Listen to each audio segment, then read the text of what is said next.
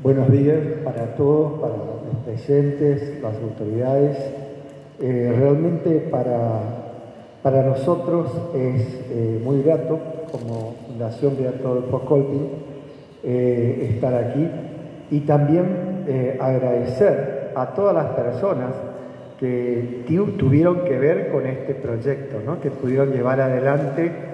son muchas tareas para llegar a este momento de la concreción de un proyecto. ¿no? Eh, muchas discusiones, muchas, eh, eh, muchos contactos que hay que hacer.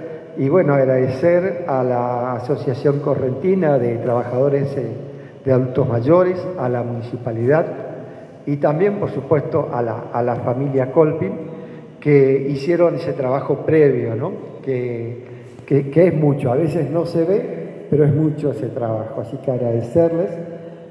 Comentábamos ahí antes de comenzar con con el amigo que eh, nosotros somos una organización que tiene su sede en Alemania, ¿no? Cuando nos visitaban nuestros, eh, eh, digamos, nuestros auditores, nos hablaban un poco del problema este de los, de los adultos. Estoy hablando de hace 30 o 20 años atrás, de los adultos en Alemania. Nosotros acá como que lo veíamos de lejos, ¿no? Porque hasta ese momento quizás las mismas familias hacían de contenedores ¿no? de, esos, adultos.